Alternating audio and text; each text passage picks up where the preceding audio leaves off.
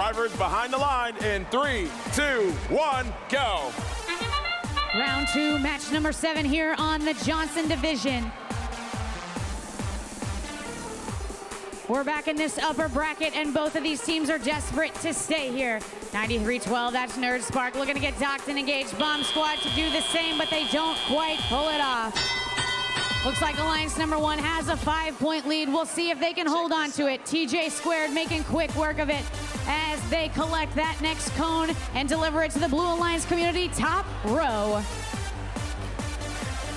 Over here in the Red Alliance, Greybots going up in tandem. They thread the needle and the cone find its home. Enigma Robotics not far behind them.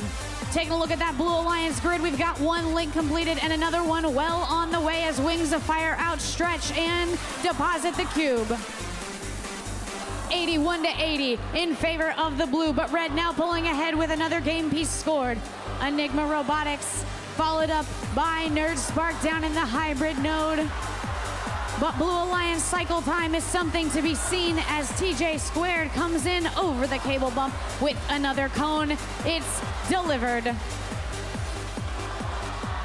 Wings of Fire with a cube in the cooperation node.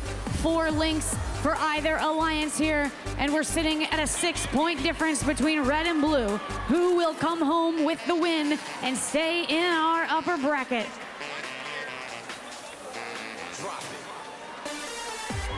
Wings of Fire finishing out that sixth link. Greybots looking to fill the grid down in the hybrid node.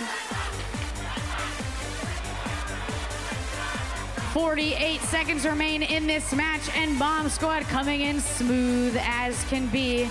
Looking to line up. Where will they deliver their cone? The hybrid node it is. 2075, our number one ranked team showing what makes them that. They deliver cube, looking to supercharge it as the Greybots come in and push that final cube into place. We're at least double, now triple supercharged over on the Red Alliance. Will the blue do the same as TJ Square drops off another cone?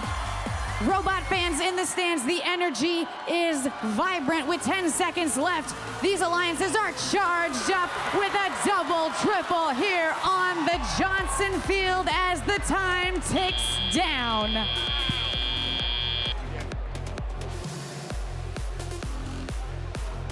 Oh, six to two, oh, three. It comes down to that five point penalty. Distinguished guests, robot fans, and all you cheering from home, remember